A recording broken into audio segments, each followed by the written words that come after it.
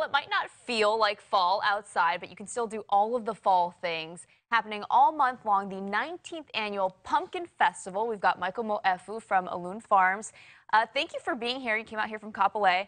Tell us about the 19th annual Pumpkin Festival. 19 years, huh? Yes, yes, a lot of tradition. Um, you know, prior to pumpkins and diversified crop, it was all sugarcane. So um, yeah, a lot of people, family traditions come out for, for many years. We have 19 year olds that come out and say they've been there for every single That's birthday. cool. So, um, yeah, outside of pumpkins, you have self picked corn, beans, sunflower. More than just a pumpkin festival, this is live entertainment, bringing the community together, um, partnering with a bunch of nonprofits to raise funds for Hawaii Food Bank, National Kidney Foundation. And then we have a bunch of community schools that will help to sell lemonade and um, people volunteering on the hay rides. So fun, really cool. So it's not just a family-friendly event, but you're also giving back to the community then. Yes. Yeah, uh, not a lot of people know, but during the weekdays we have educational tours.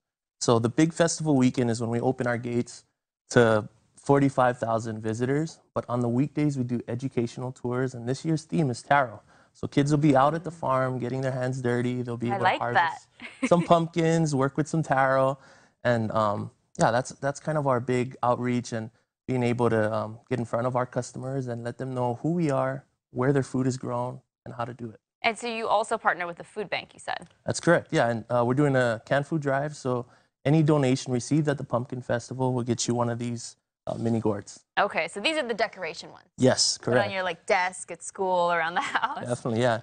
So we have um, tiger stripes. We have these mini whites. Ooh, we those are have cool. these uh, cannonballs, cakey bees.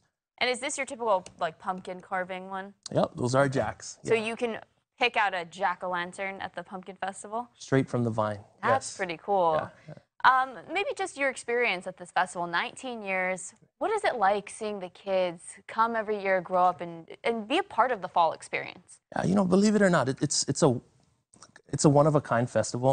Uh, you don't often get to go to a farm and pick your own fresh produce, cook it for dinner that same day.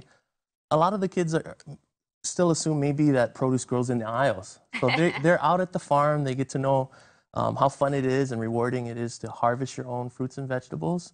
Um, so a lot of them are surprised, and then they come back every year with a different crop or, or different ideas to to get their um, perfect pumpkin carve. Well, I'm in the fall mood officially, so thank you for wearing orange and Yes. black, get your Halloween shirt on, um, bringing in the pumpkins. Let's go over this because I want to show up. I know everyone watching probably wants to come.